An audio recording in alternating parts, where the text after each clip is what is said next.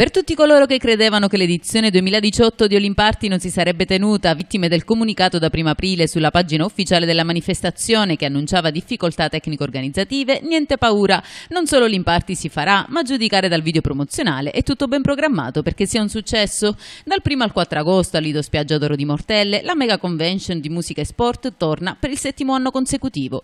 L'Associazione Mediterranea Eventi, organizzatrice dell'evento, si è già attivata per offrire un'edizione che sia sempre più social tramite canali canali Facebook, Instagram e YouTube già attivi per non perdere nessun aggiornamento.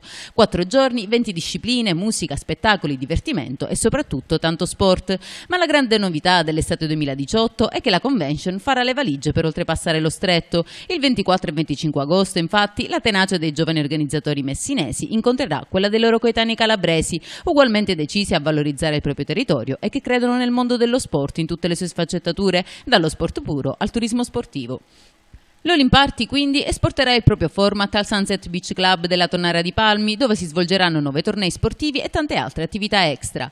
Un format dunque che dopo sette anni non solo si è consolidato, ma è addirittura esportabile. Come precisa il presidente di Mediterranea Eventi, Alfredo Finanze, il successo delle passate edizioni, la grande partecipazione e la costante crescita è la dimostrazione che Messina è viva e le idee possono funzionare e diventare realtà.